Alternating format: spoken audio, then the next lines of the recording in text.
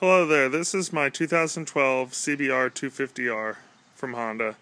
I'm going to talk about the seat cover and the, the seat. Actually, it's a replacement for the seat.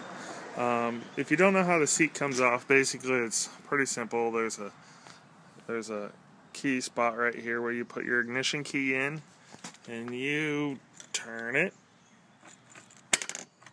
and the seat comes off. When you buy your uh, 250R, uh, brand new, it will come with the two up seat. So you can have a passenger sit here and you got the foot pegs on both sides. Show you that. This one right here. Anyways, so the seat comes right off. Like you see, it just pops up. It just pulls off. Pretty flat, really small. Let's take it over and compare it to the cover. Uh, so here's the cover. Here's the seat. You can see them in comparison in size. I'm doing my best here. So when you buy your the cowl, the seat cowl I should say, uh, this is exactly what it looks like. Now, my bike is a 2012, but the 2011s are the exact same bike, so that's why this says 2011 on it. It doesn't say anything about carbon fiber, any of that stuff. It's just a kind of like a flaked gray metallic. You can't see it on this camera, but up close it looks like uh, black with like a dusting of silver on it. Um, it looks very similar to the to the seat, even though the seat's some sort of plastic leather imitation, you know, like a standard seat would be.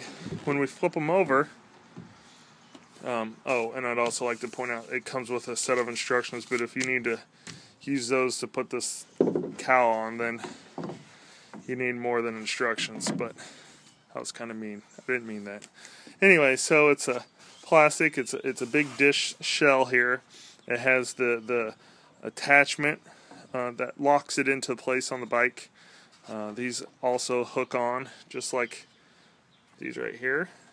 You'll notice it's uh, quite a bit longer, and it really this this raised uh, section here. Well, it's dish now, but when you go like that, now it's raised. Uh, really allows for probably three or four times more storage um, I put my uh, insurance information in a in a baggie in here and uh, put everything there. And just like uh, the seat, it has a, a, suction cup, the wire, uh, heavy gauge wire uh, frame underneath, and the shell's plastic. And people are like, "Oh, just look at that cheap wire, and it's plastic." Well, folks, I hate to tell you this, but the whole bike is made out of steel and plastic, just like all of our car nowadays. So I don't know what you expect, but overall, uh, you, it's an excellent add of styling to the bike. And it's uh, trying to do this with a camera in the hand is is difficult, but you push down right here in the center, and it'll go click and uh, done. But I don't want to do it while I'm holding this camera. So uh, basically that's the difference there. I'll show some pictures on the end here. But you got your your seat or your cowl.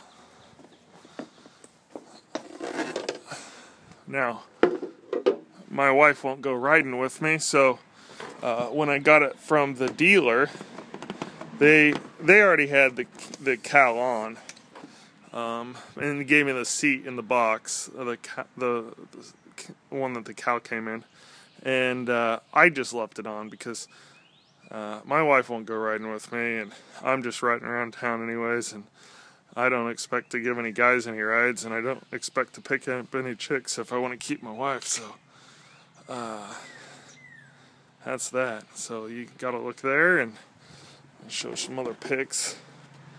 I'm gonna have this up on on the website some just pictures here.